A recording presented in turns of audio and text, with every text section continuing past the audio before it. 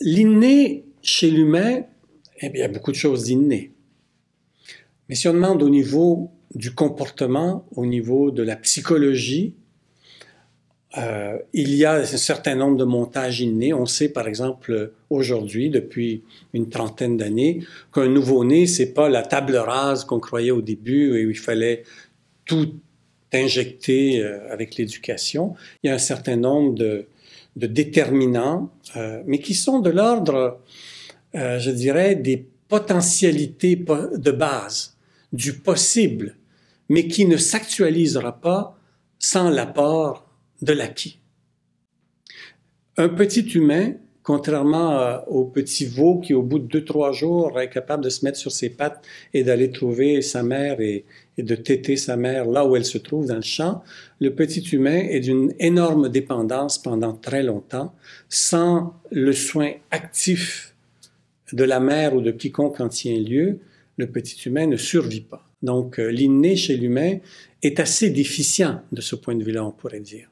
Et c'est peut-être d'ailleurs pour ça, c'est pas une explication, c'est une, hypothèse, que le culturel, que la culture s'est développée autant chez, dans le genre humain, euh, c'est à cause de cette déficience euh, biologique de départ qui exige la socialisation par essence.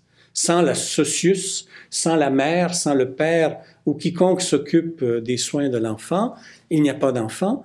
Et euh, c'est de cette longue exposition à un rapport social et inclusion dans un rapport social, euh, donc cette énorme contribution de l'acquis qu'on est qui on est. La mère euh, est le porte-parole de la société.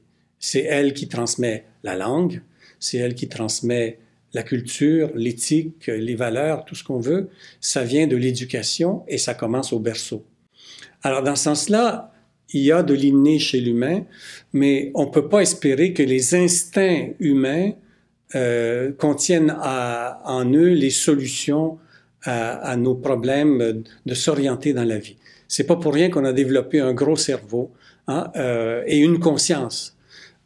Très souvent, quand on étudie désormais, depuis qu'on a accepté euh, cette idée que la majorité de nos actes psychiques euh, et comportementaux sont pas conscients.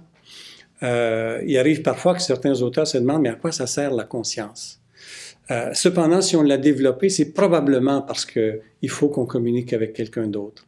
Mais il y a beaucoup de choses qu'on pourrait faire sans la conscience. Mais si on l'a développé et si ça nous a pris euh, cette euh, évolution énorme du, euh, du cerveau, des deux hémisphères cérébraux, qui est plus, qui sont plus gros proportionnellement euh, chez l'humain que chez n'importe quel autre animal. Le cerveau de l'éléphant, qui a un, crâne beaucoup plus gros que le nôtre, est minuscule. Hein? On a le cerveau pour les besoins qu'on a. Alors ce cerveau, c'est un organe qui a la particularité, contrairement à beaucoup d'autres organes, c'est qu'à chaque instant, il est en train de se modifier.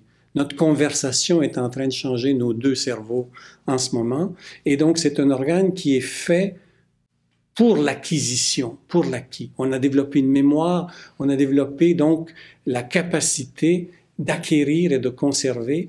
Et c'est probablement parce que l'inné n'est pas à la hauteur chez l'humain.